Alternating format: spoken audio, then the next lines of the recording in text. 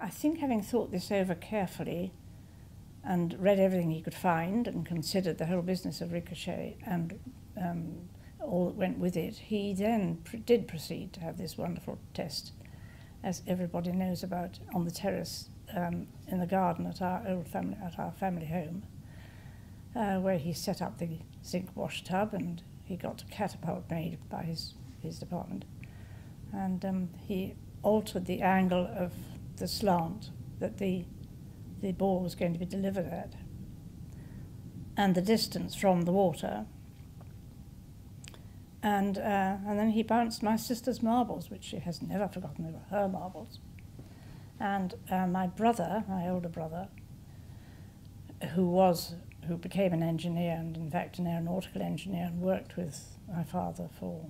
well, many years, he would have been able to tell you a great deal more, but he unfortunately is not with us anymore. But he had to check how far between the bounces of the marbles and whether they went over a string or under a string to check the height at which they bounced. Um, I am so glad I didn't have to do that. All the rest of us had to do was to look for the marbles, which then, of course, disappeared over the end of the sink bath.